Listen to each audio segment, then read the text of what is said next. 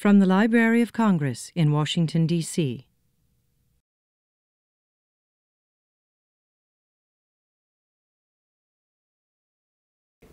Now, tonight our guest is my favorite coconut, the delightful Imogene, who always brightens up the week.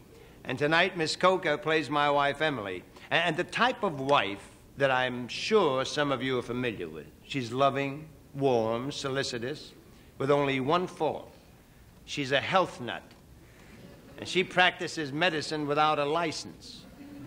Now, I play her husband, Harry, you see, and in a minute, you'll see what happens when my wife, Emily, balloons a minor symptom into the Black Plague.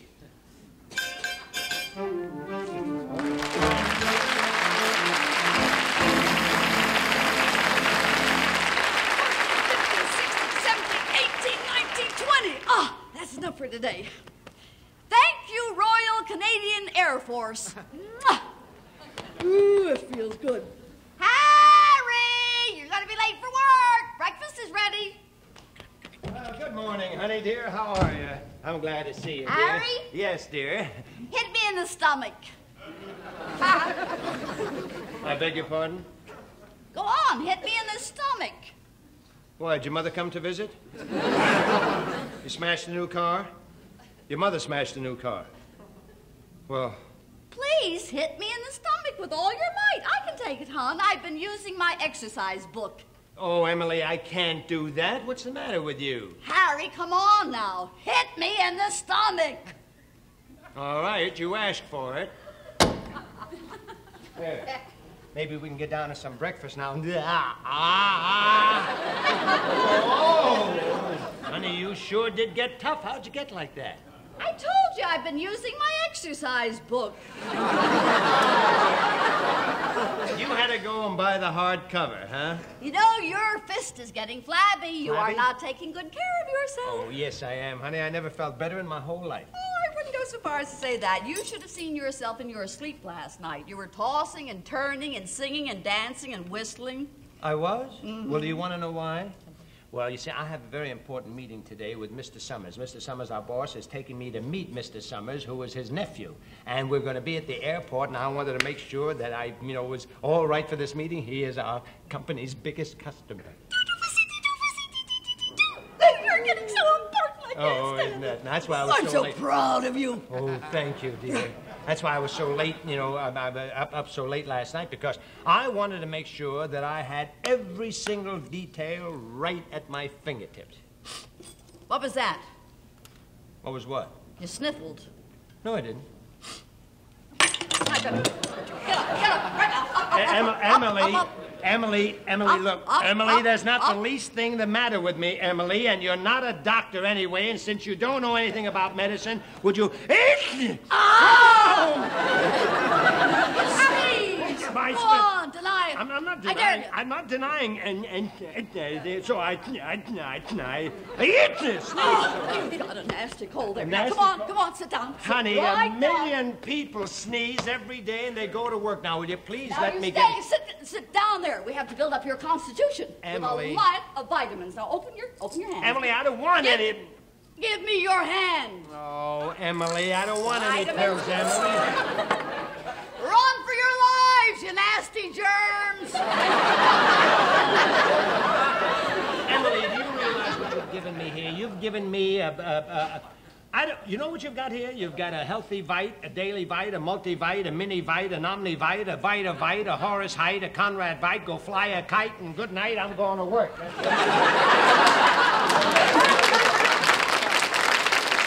Emily, Emily, I'm not sick, and I'm not taking any pills. Emily, Very well, then we'll have to use the trash can method. the what? The trash can method. You step on the pedal and open the lid, like this. Oh!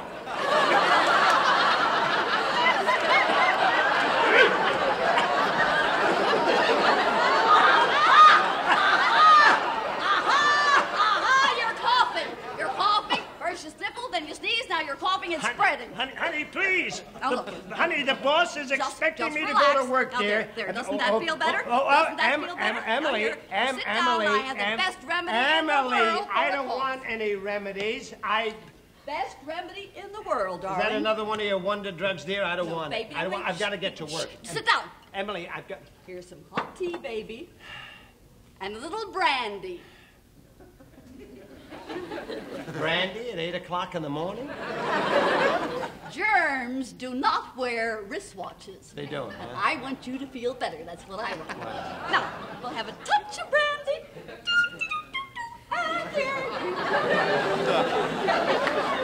Well, okay, if it'll make you happy, I'll do it, all right?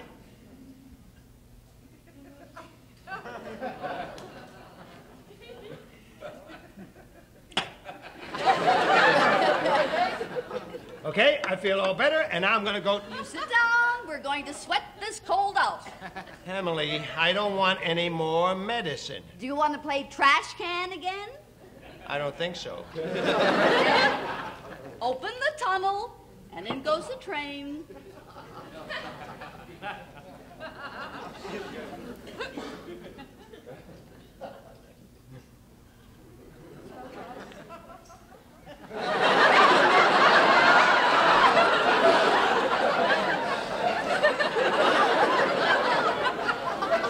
How do you feel, Harry? Harry who? Well, I never felt better in my whole life, honey, but duty calls, and I've got to get to the office. So I'm going to just fix my little. I'm going to fix. I'm going to. I'm just going to. Oh, I feel great, Emily. I, I, I, I don't care if I did have a sniffle. I, I'm going to. I'm, I'm going to have some more medicine. Darling. You just sit down, make yourself comfortable, and relax. I certainly will. I'm going to go in the kitchen and make you some hot soup. We have to keep you full of liquids. Well, I certainly believe I better keep them liquids coming, uh, certainly Hot will. soup coming up. Hot, yes, sir.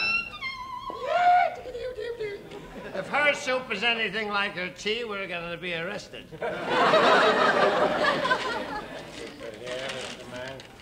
And I'll, I'll see what the Yankees did in the first. If they made any trades in the paper, because I, uh, for the, that's a sports page. I come in financial section. That's what I have to look for. Because uh, I, I got better have a little medicine because I'm.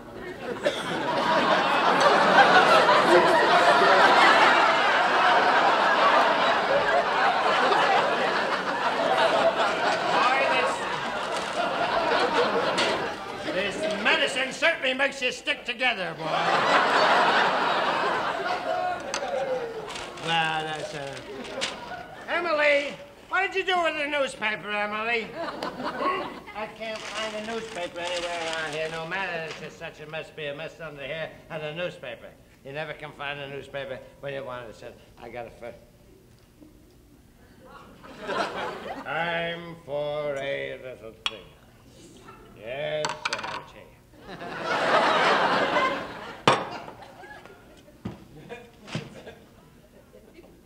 To Taza, son of Cochise. and modern science. Boy, if Baldy has left little orphan land again, I'm gonna belt him one. I have to go all the way to the master bedroom now to send him out of town. I'm, I'm, I'm going to the bedroom. That's the bedroom over there. That's where I'm gonna go. I'm gonna go to the bedroom.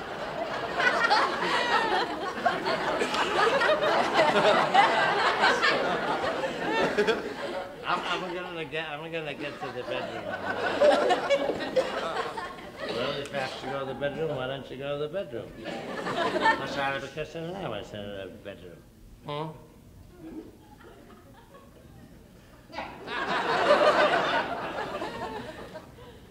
Harry,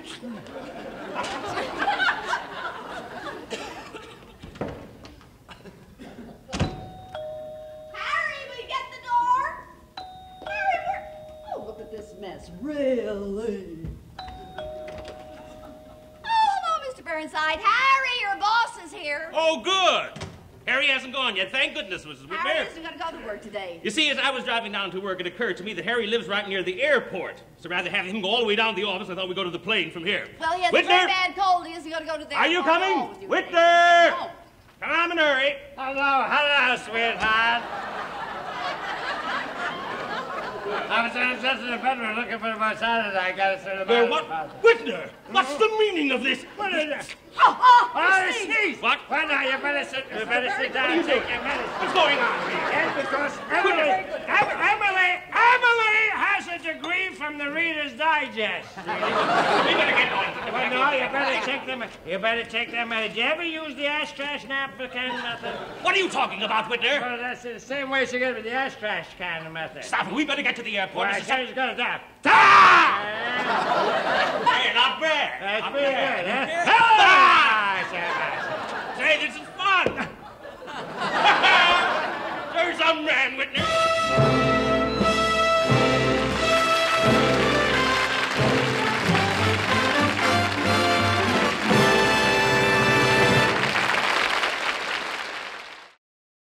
This has been a presentation of the Library of Congress. Visit us at loc.gov.